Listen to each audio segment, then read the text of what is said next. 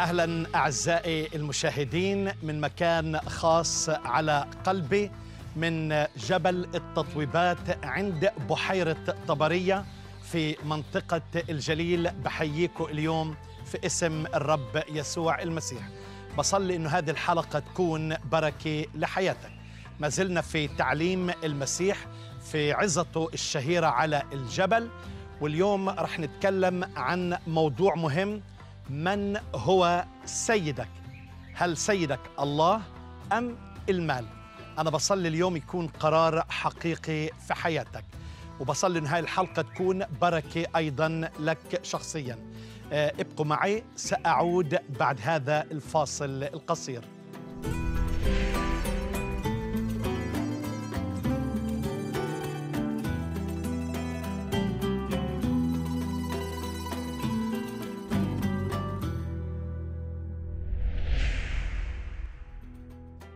أحبائي بنواصل دراستنا من جبل التطويبات أمام كنيسة التطويبات الجميلة. هذا الج- الجبل الجميل الرائع عند بحيرة طبرية. المكان اللي علم فيه المسيح أعظم وأجمل التعاليم وأعطى واحدة من أقوى المواعظ اللي بنسميها العظة على الجبل. في هذه الحلقة راح أتكلم عن من هو سيدك. يقول الكتاب المقدس طبعا كلام يسوع المسيح لا يقدر أحد أن يخدم سيدين لأنه إما أن يبغض الواحد ويحب الآخر أو يلازم الواحد ويحتقر الآخر. لا تقدرون أن تخدموا الله والمال. واو هاي جملة قوية جدا جدا. فاذا السؤال من هو سيدك؟ وبتستغرب إنه المقارنة إما الله أو المال. اختاروا لأنفسكم من تعبدون. إن كان آلهة أي آلهة أخرى فاعبدوها. قال يشوع أما أنا وبيتي فنعبد الرب. قال موسى في القديم قد جعلت قدامك الحياة والموت البركة واللعنة فاختر الحياة لكي تحيا أنت ونسلك من بعده. فاذا من هو سيدك؟ من تخدم في هذه الحياة؟ وهاي هي الديانتين على فكرة اللي فقط أمام الله. إما أنت بتتبع يسوع المسيح أو بتتبع المال. والمال فيك تفوت في الديانات في السياسيات في الاجتماعيات في المجتمعات في كل ما يتعلق لأن المال السيد اللي عم بسود في هذا العالم. هي مشكلة الغني أولا وهي مشكلة الفقير أيضا. لا يقدر أحد أن يخدم سيدين. إما أن تحب أو تبغض. لا يوجد حل ثالث. المال طبعا واحد من الكلمات ممون اللي هي في الكلمة الأصلية. وبتتكلم يعني صارت إلى درجة العبادة. لما بقول أهربوا من عبادة الأوثان صار بمثابة كأنه آه، وثن أو آه، إله في منطقة كنعان. لكن هم بيتكلم عن مش بس المال عن جميع الممتلكات. كل إشي أنت بتكنزه لحياتك وبتحط ثقتك فيه. العبادة عبادة الرب. أم الثروة؟ أين اهتمامك الأكبر؟ وكيف تقضي الوقت الأفضل؟ السيد هو مركز اهتمامك. طبعا إذا. أنت بيكون لك سيد لازم تظهر محبة لهذا السيد بكل سرور. فالسيد لاحظ في أيام المسيح كان يملك العبد. يعني مش مجرد واحد بيشتغل عند عند السيد ولا مجرد رئيس عمل أو رئيس على مجموعة من العمال. حقيقة إنه العبد هو شيء يعني مش شخص آه، في أيام المسيح. فبيتكلم انه السيد كان بيملك العبد فمن يملك حياتك؟ ومن الذي يسود على حياتك؟ آه، السيد هو مركز اهتمامك أم العالم هو مركز اهتمامك؟ لاحظ الكتاب المقدس بيتكلم عن ثنائيات. لا تكنزوا لكم كنوز على الأرض بل اكنزوا في السماء. فأين هو كنزك؟ هل في السماء أم على الأرض حيث يكون كنزك هناك يكون أيضا قلبك. ثم بيتكلم عن الجسد النير والجسد المظلم. العين البسيطة النيرة والجسد المظلم أيضا. وهون احبائي بيتكلم عن طبعا من هو سيدك؟ هل الله أم المال؟ فاذا إخوتي وأخواتي الله أم المال؟ كل سيد لازم ندرك إنه كل سيد عنده مطالب. آه ما فيش شيء اسمه رخيص. آه هاي المطالب لازم توفيها وكل مطالب طبعا إذا أنت تابع الله بتتعارض تمام مع آه شو بيطلب العالم أو محبة المال. شو بيطلب؟ إذا أنت تابع للعالم محبة المال فأنت كل المطالب كل الأمور بتكون مركزة على العالم وأموال هذا العالم. يقول الكتاب المقدس محبة العالم عداوة لله إحنا بنعرف ان الشاب الغني أحب ماله أكثر من إلهه فمضى حزينا. في العهد القديم بيتكلم عن قصة إيزابيل الملكة وأخاب الملك الشرير عن نبوت اليزرعيلي مع أنهم يمتلكون كل الأرض حطوا عينهم على حقل صغير والنتيجة كانت خطيرة إنه دفعوا ثمن أنهم ماتوا طبعا أمام الرب. أين المال؟ أين الجمال؟ أين الحقول؟ أين الممتلكات؟ كلها فانيه أحبائي كل هذه الأمور تاركينها في هذه الأرض. فالبغضه والمحبة ضدان كذلك الملازمة والاحتقار أيضا. ابقوا معي سأواصل حديثي بعد قليل.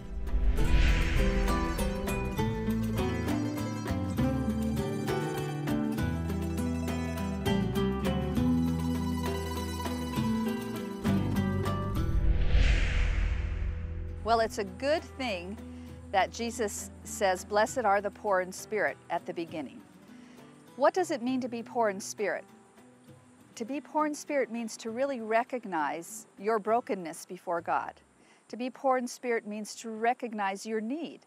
And so he starts off by saying that the people who belong to the kingdom of God are the people who recognize their need. They know they'll fail. God knows they'll fail. God doesn't is never surprised. But God says that that's who makes up those who accept his rule. What does it mean to be meek? It means not to be art- artificially humble or put on a show because Moses was considered a very meek man, and yet he was a person who was raised in a palace. He was a national leader, he was a liberator and a deliverer, but he was meek because he knew that without God he couldn't do any of this. To be meek, to be poor in spirit, is to know that you will fail and that you need God and that it's a relationship, it's a walk, His forgiveness is available. He, he calls the shots from the beginning, and if you fall, you will rise again. And because He forgives you, you're going to be able to forgive others. It's a whole relationship.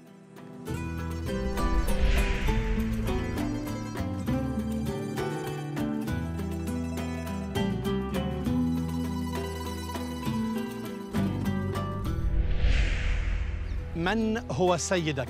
لا يقدر أحد أن يخدم سيدين إما الله أو المال. من يحب يسوع يلازمه. من يحب العالم لابد أن يستعبد له. المحبة العالم عداوة لله. اهربوا من عبادة الأوثان. لا تحب العالم ولا الأشياء التي في العالم. إن أحب أحد العالم ليست فيه محبة الآب. لأن كل ما في العالم شهوة الجسد وشهوة العيون وتعظم المعيشة. هذا ليس من الآب بل من العالم والعالم يمضي وشهوته أما الذي يصنع مشيئة الآب يثبت إلى الأبد. بتحب يسوع؟ بتلازم يسوع. على فكرة المسيح يطالب بالولاء الكامل والانتماء الكامل. المسيح يطالب بالخضوع الكامل المسيح يطالب بالتكريس الكامل والإرادة الخاضعة والطاعة الكاملة والذهن المستنير والمتجدد أيضا. هدف واحد وقلب موحد الغير مجزأ الغير منقسم قلب كامل إما الله أو محبة العالم محبة المال. على فكرة المال سيد قاسي جدا.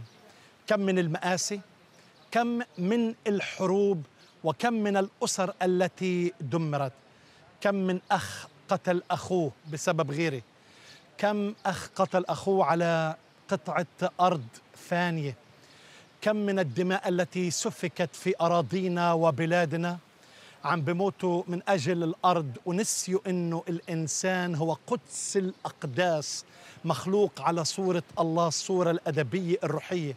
نفس الإنسان قيمتها أعظم من كل أراضي وكل ممتلكات الدنيا. لدرجة قال يسوع ما ماذا يجدي النفع لو ربح الإنسان العالم كله كل ما في هذا العالم وكل ممتلكاته وكل جواهره وكل قيمه وخسر نفسه؟ أو ماذا يعطي الإنسان فداء عن نفسه؟ المال حقا سيد قاسي. بسبب محبة المال وعندما نهتم بالأشياء أكثر من الخالق فتصبح عباده أحبائي. أحب عبارة تعلمتها من صديق لي قال هذه العبارة. المال يميل والفضة تفض والذهب سيذهب فماذا يبقى أحبائي؟ كل شيء آه، فاني وقبض الريح. أعبد الرب فتكون سعيدا. سعيد اللي فعلا بيتمسك واللي بحب الرب. بتكون سعيد على الأرض وبتكون غني في الإيمان وطبعا الأبدية من نصيبك أيضا. الآية بتقول لأن محبة المال أصل لكل الشرور. لاحظ مش المال. المال ممكن يكون بركة. إبراهيم كان غني وايوب كان غني. لكن ممكن تكون بركة للكنيسة وللمجتمع وإنه تخفف من من مآسي الناس ومشاكل الناس بناء مستشفيات مدارس ملاجئ إلى آخره. لكن شو المشكلة؟ لما بيتسلط عليك المال ولما بتصير تحبه للمال بتنام وعم بتفكر فيه مكتوب لأن محبة المال أصل لكل الشرور الذي إذا ابتغاه قوم ضلوا عن الإيمان وطعنوا أنفسهم بأوجاع كثيرة. بحب الترنيم اللي بتقول لا ينفعك المال كلا ولا الجمال تتغير الأحوال لما يسوع يجي. لا ينفعك دينار كلا ولا الدولار ستحترق بالنار لما يسوع يجي. أين هو قلبك؟ حيث يكون كنزك هناك يكون أيضا قلبك. من هو سيدك؟ إذا أنت عايش للعالم وملذات العالم قل له يا رب سامحني ارحمني. في أشياء اللي هي أكثر مسرة البر والحياة الأبدية. صلي أنه الرب يدخل لحياتك ويسندك ويساعدك. وأنا بصلي كمان أنه تكون بركة لحياتك. على فكرة أنا بحب أسمع منك.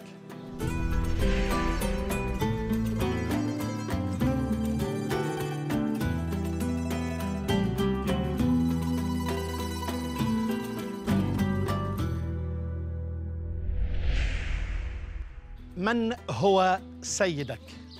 الله أم المال؟ وعندما أقول المال طبعا أقصد كل شيء يعتبر أولوية آه، مقابل الرب أو أمام الرب. فإيه الأولوية في حياتك؟ وهل الأمور بتسوى إنك تضيع حياتك وتضيع أبديتك وإنك تستعبد للأشياء للمخلوقات بدل ما إنك تكون ابن للخالق وتكون عايش بالحرية الكاملة. طبعا الله بحبنا وأعطى كل عطايا جيدة وصالحة وإنه الله ببارك الإنسان لكن هاي البركة حتى تستثمر في حياة الإنسان مش تتسلط عليه ولا تسيطر عليه. أنا بصلي من كل قلبي إنه الأولوية الأولى تكون في حياتك ملكوت الرب. الأولوية الأولى في حياتك أن تحب الرب من كل قلبك مش بقلب مجزأ. إنه الأولوية الأولى في حياتك إنه يسوع يكون نصب عينيك. ما تخافش هو بباركك وبسدد احتياجاتك وبيهتم فيك وبيهتم كمان في عيلتك. آه، بصلي إنه الرب يباركك. من جبل التطويبات بحييكم وإلى اللقاء.